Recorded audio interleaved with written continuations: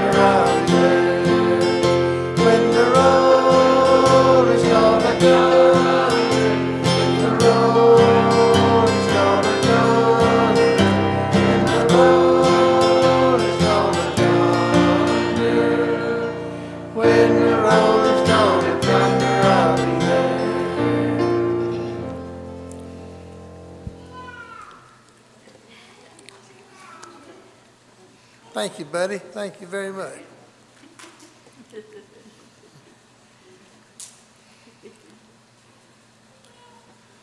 Brother Joe, will you lead the prayer?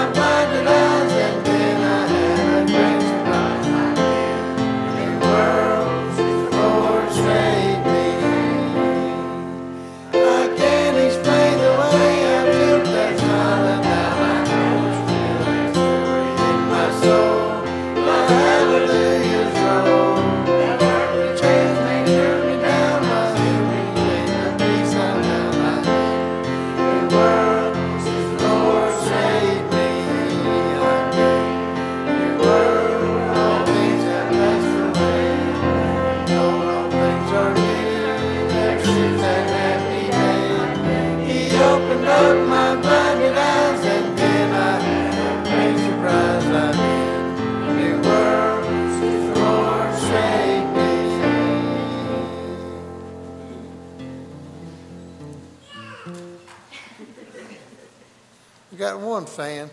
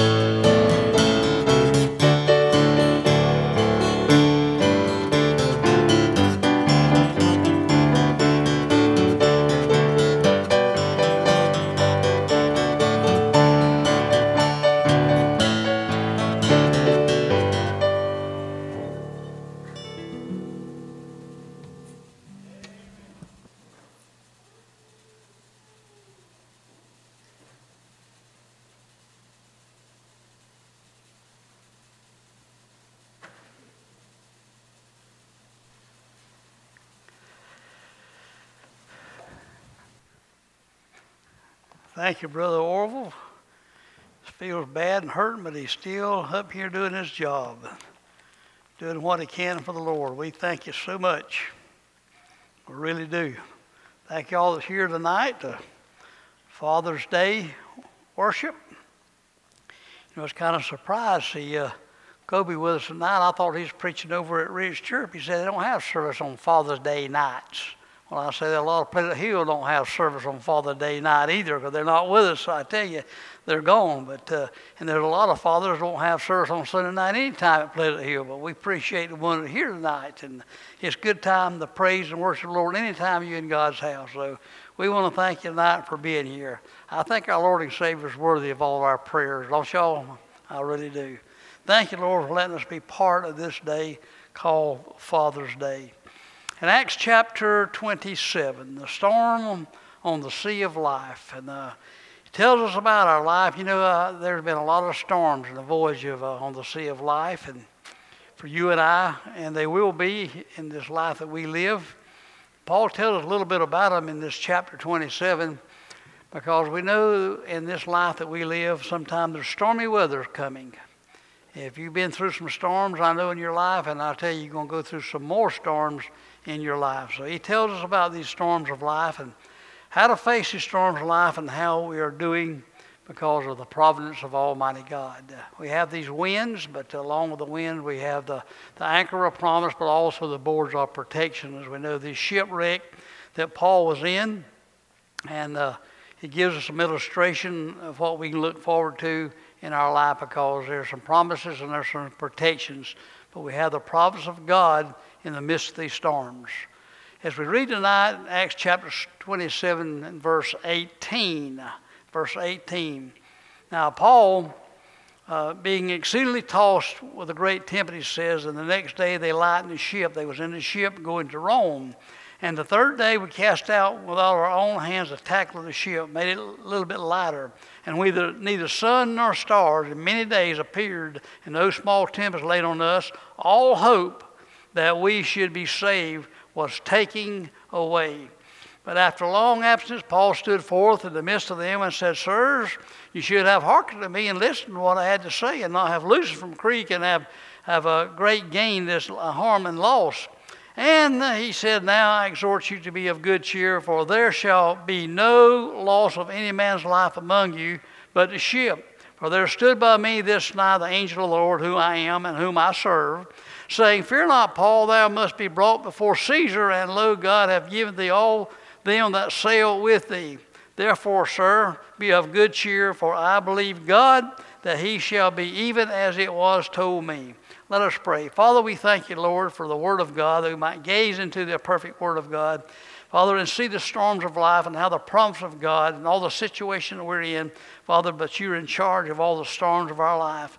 We thank you and we praise you for each one that's here to praise our Lord and Savior Jesus Christ and give honor and glory to Him in God's house this night. And thank you in the name of Jesus. Amen. The voyage, Paul was on the voyage now going to Rome because God assured him uh, that he was going to have to preach the good news when he got to Rome and tell them about Jesus Christ. Paul was going through a storm this chapter the storm of the came. Sometimes it's very dangerous, and you know the shipwreck that he was in and deliverance are lessons for all of us because there's storms of life and our shipwrecks and danger and deliverance that we have from time to time. Back in chapter 22, Paul became a prisoner. At this time, he was not a free man; he was a prisoner going to Rome. The voyage brought him to the very place he gave his testimony, the Caesar himself. We all on the voyage of life, and we have lessons of the sea of life, that the storms that we will go through and have been through, to bring us to a place of our testimony for ourselves and also for our family and for our loved ones. You know, sometimes it may be a storm of life. In Paul's last few days, that he was really have a great uh, testimony. It might be maybe when you're in the hospital, maybe you might be in the nursing home, but all through your life, it may be a time that you might testify that you've never testified before to Almighty God. God give you this great testimony that did old Paul. Well, the Bible also, we say that, uh, you know, there's some tests that we have to go through in life, and sometimes, you know, we don't like these tests and these storms in life, but they're coming. Uh, many tries to prove, we find out in the Bible, this chapter is not the Word of God. We find out it is the Word of God, and everything is the Word of God in this chapter. That it's a story of uh, seafaring, and it's a story of a storm and shipwreck, and uh, it's a account of danger and also deliverance, because we're on the storm of life that we travel today. Many storms have been recorded in the Bible. Y'all remember Jonah, uh, contrary to what God told him to do, and he was out of God's will. God told him to go to Nineveh, and he went the other way.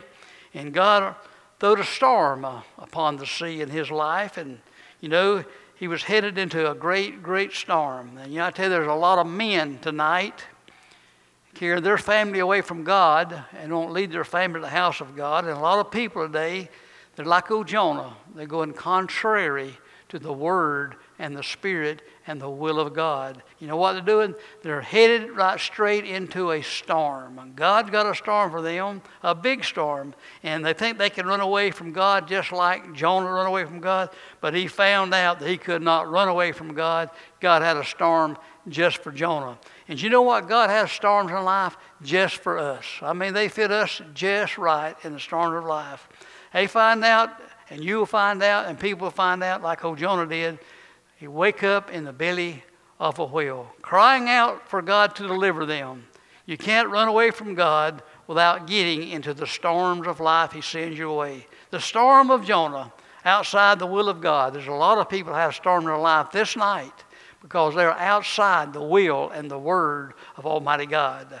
Paul was in that storm now, but he was in the storm in the middle of God's will. You see, you're still going to have problems whether you're in or out of God's will. Problems are going to come to you anyway. People got the idea, boy, if I'll be in the will of God and do whatever thing God tells me to do, they won't be no difficulties wrong.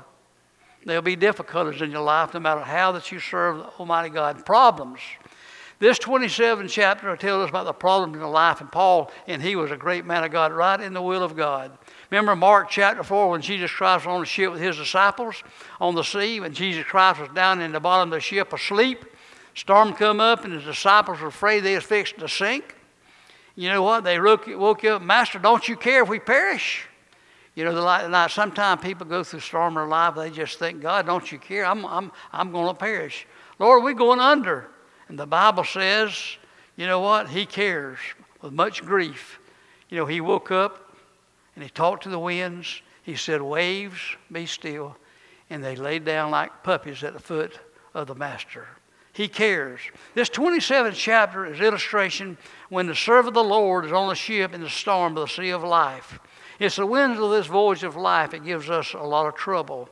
Paul said to old Timothy in 2 Timothy 4 and 6, For I'm now ready to be offered, my time of my departure is at hand. Now, this departure is a seafaring terminology.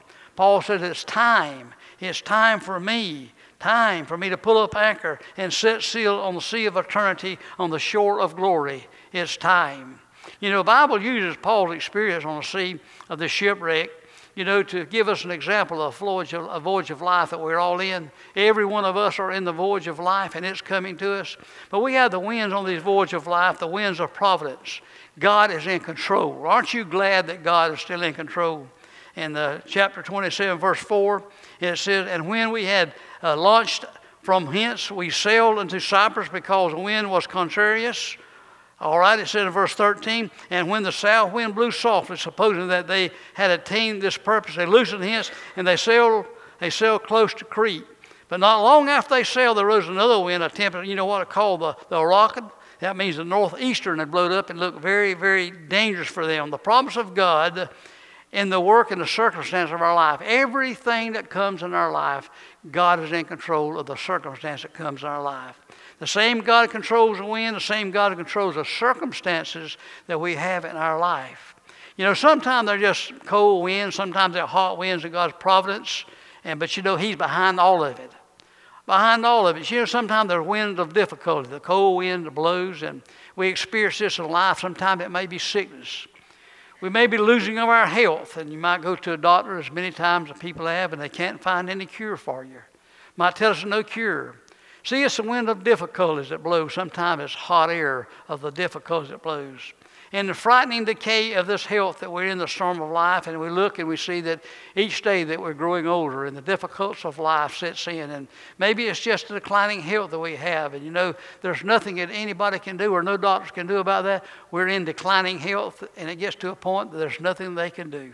I mean, you just have to accept it that we're just in declining health, and you just have to accept it. But the providence in the hand of God, you see, He puts His hand in the glove of providence. And that glove works in our life just like you putting on a glove. That glove won't do nothing if you lay it right here. But when you put your hand in that glove, you make that glove do all kind of things. Well, God puts His hand into providence in your life, and He works out everything for your glory in Romans 8 and 28. The storms of failure might come. You know, it might be on the business or it might be in a job, you know, or sometimes we have problems with our, um, our money and we, some people have to go bankrupt. But the storms takes forms of unexpected tragedy a lot of times. You know, you go along minding your own business and then the telephone rings. That's a frightening time sometimes when a telephone rings. Maybe it's a car wreck. You know, maybe somebody just had a great accident. Maybe a family is falling apart. How do you respond when these storms of life comes in your life?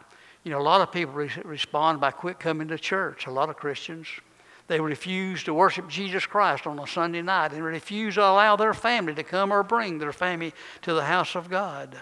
You see, there comes a time that whenever we should turn to God, and a lot of people turns away from God, but they'll turn to God for a lot of different things, sports and pleasures and whatever it might be.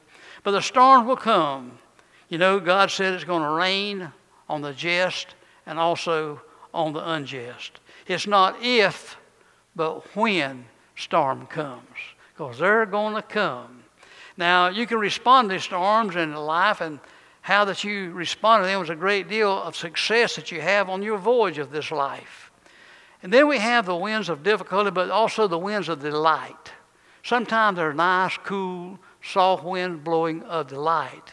That's the days of joy. You know the song that we sing? Thank you, Lord, for your blessings on me. I got a good roof above my head. You know, I got a good place to sleep. I got food on my table, shoes on my feet, and a fine family. You know, just, uh, just the small things of life sometimes means a lot for us. The winds of delight. Oh, it's so sweet when the wind of delight blows upon us. Just the little things of life. You know, may have a warm house and I think about this so much because I was raised when there wasn't no warm house, except in the summertime.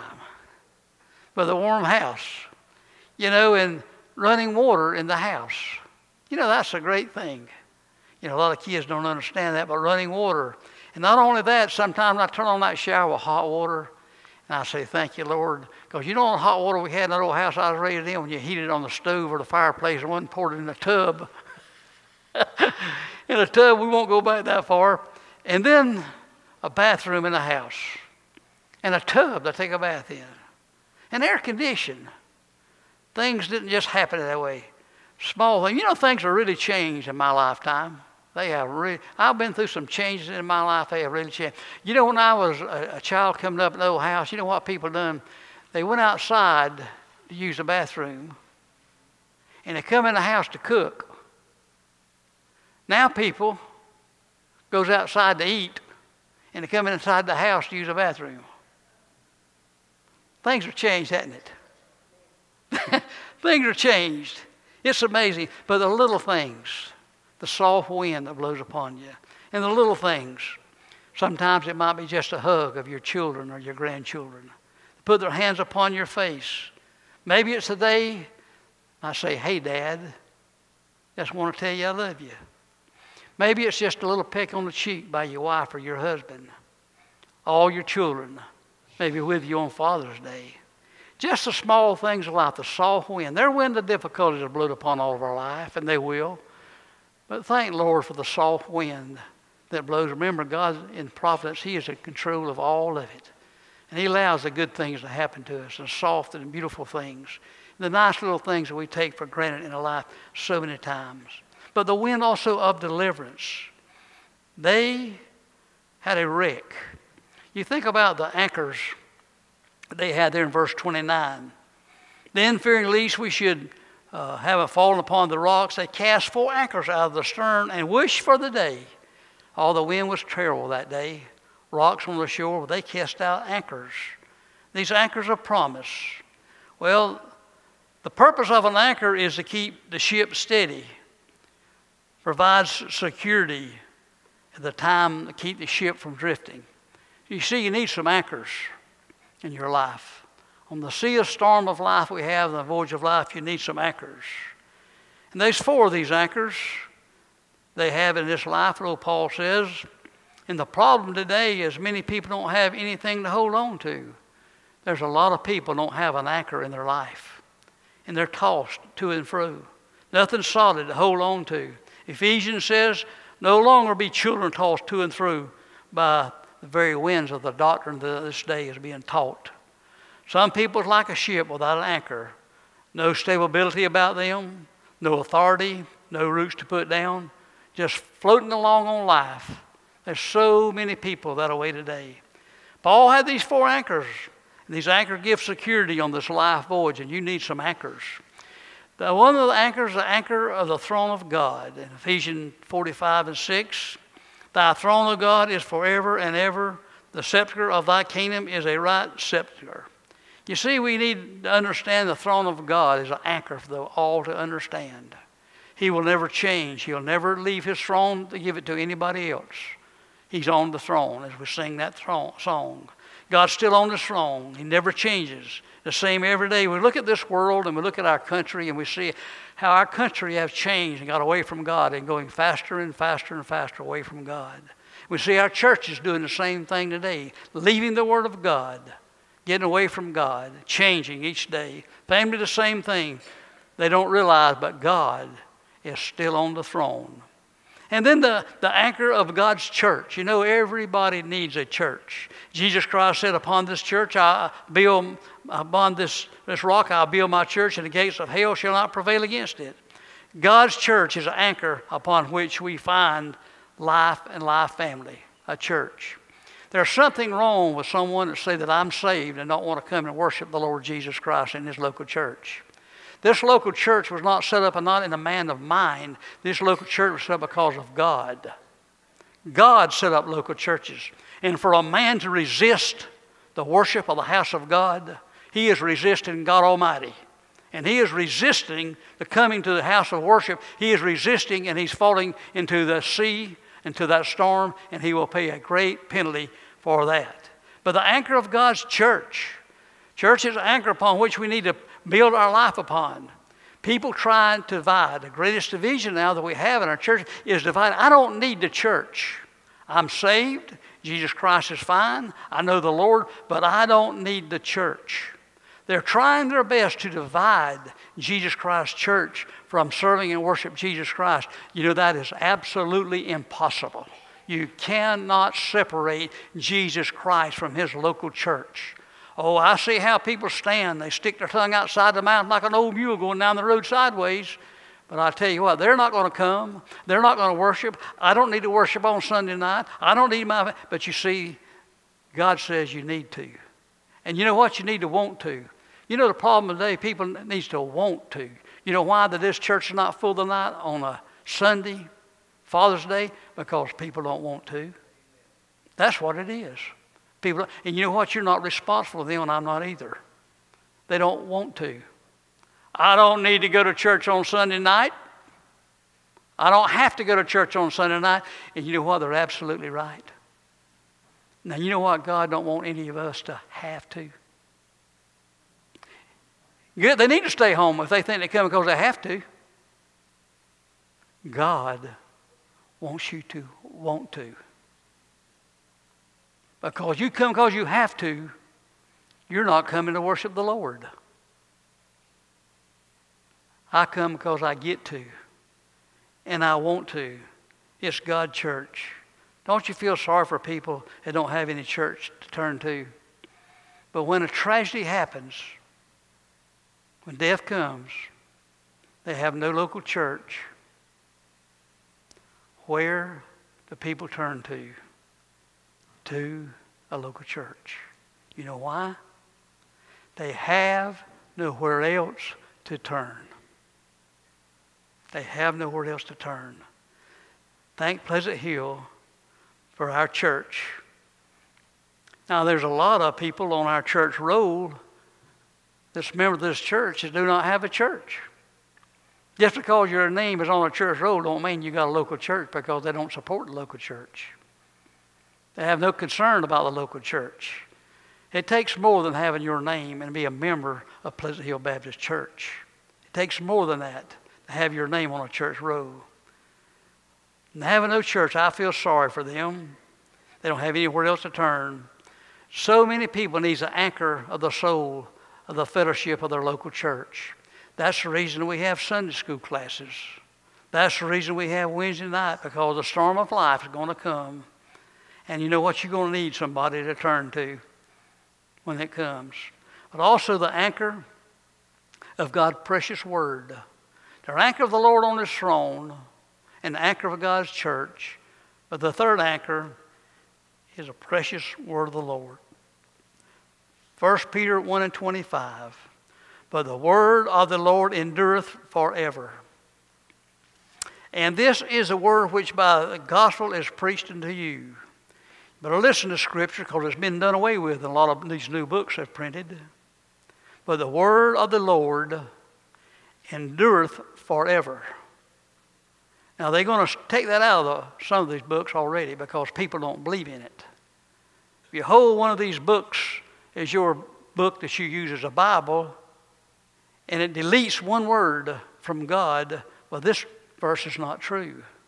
The Word of God endures until someone rewrites a book. This word endures to a new book that's come out.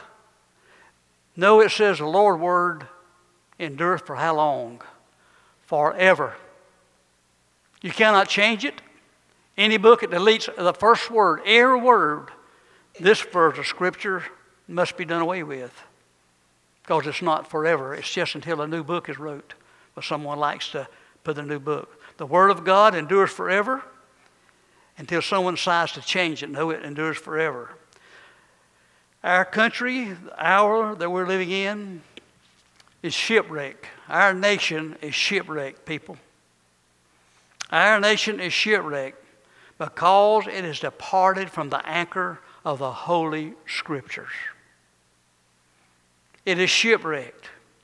Churches today are shipwrecked, and a great many of them are Southern Baptist because they have lost the anchor and done away with the anchor of the Holy Scriptures and turned away from the Word of God. Shipwreck. But not only that our nation, not only our churches, but they people, personal and also family members, are also true for them. Because no longer are they on the rock of the Holy Scriptures and have an anchor in the Holy Scriptures. It's whatever they want to believe. Whatever people want, we're living in a time of the judges when it says that everybody done what was right in their own eyes. Not what was right in God's eyes, but what was right in their own eyes. We're living in that day today, what's right in our own eyes. Hebrews 10 and 25 says, Not forsaking the assembling of yourself together, as in the matter of some is, or some do. You see, that's in the Bible. That's the Word of God to all Christians. When this church meet, every member of this church, if you could, should be here. Isn't that right? Isn't that what God said? Don't forsake. Don't neglect. Be there when you can. Of course, we know everybody can't be here all the time. But the fourth anchor we find out is the anchor of God's hope. And uh, Hebrews 6 19 and 20, as I read this in the funeral, which hope we have an anchor of the soul, both sure and stand fast, which enter in within the veil wherewith the forerunner is for us, entered even Jesus Christ, made a high priest. Jesus Christ, we find out, is in the right hand of God this hour. He's already there. And then as we see this, we find out of this shipwreck, and you could just look at it and visual it for a little while. This shipwreck, there was boards scattered everywhere. This ship is running aground, and all the rocks and the wind has beat this old wooden ship up. And man, they parts of the ship just floating away, and Everything on the ship, you know, was just destroyed and, and everywhere. Parts of the ship floating around. People, I don't know how many people was on board that ship. They all floating around everywhere, shipwrecked. In verse 22 it says, And now I exhort you to be of good cheer, for there shall be no loss of any man's life among you, but the ship. Now, saying, Fear not, Paul. Now, there must be brought before Caesar. Lo, God have given thee all these sail with thee. Now in verse 25 again, Wherefore, sir, be of good cheer. I believe God, that it may be even as it told us, that you will not have to worry, God will protect you. Now we find these boards of protection. Now, verse 34 and verse 44. Wherefore I pray you to take some meat, for this is your health, for there shall not a hair upon you fall uh, from you. And the rest, some on boards and some, and some on broken pieces of ship, and some came to pass that they escaped all safely to land. You see, we have these board of protections. That is the promise and protection of Almighty God.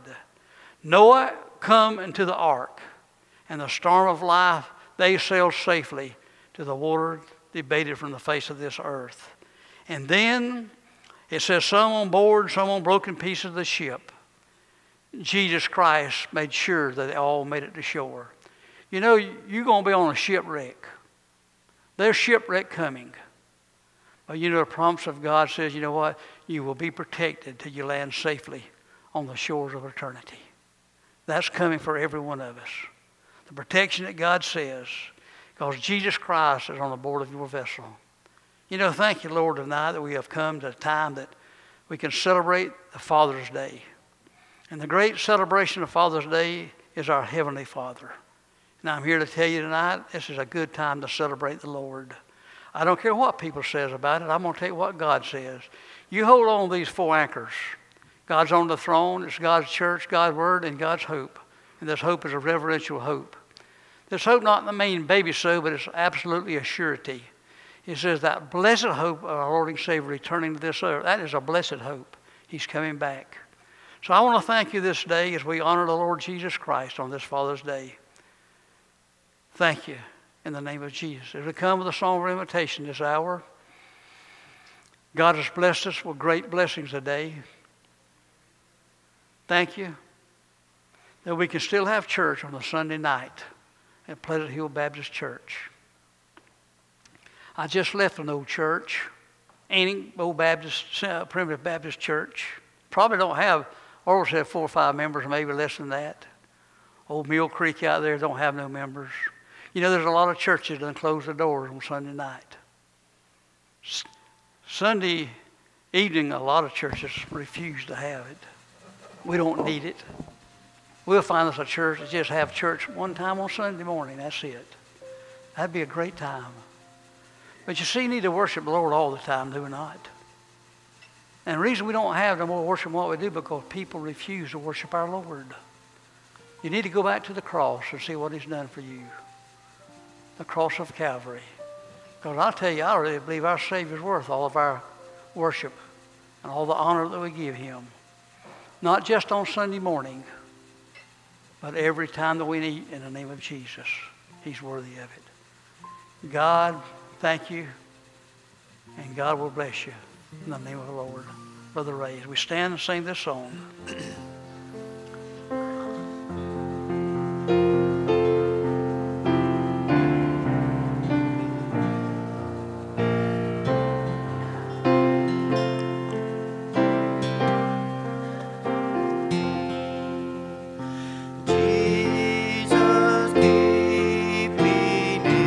That's what we need today.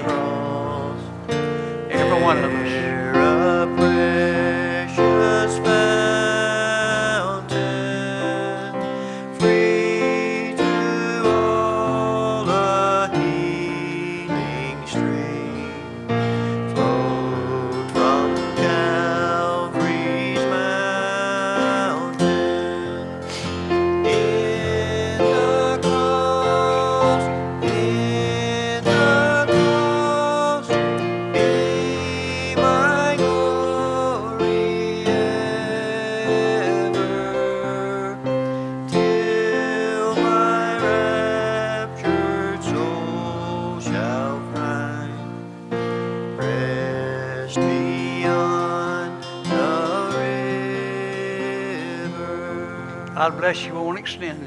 Invitation any longer. Great day in the Lord today, and I thank Him for this privilege that we had to worship Him because He's worthy of it. Well, Kobe, you mind give us a benediction?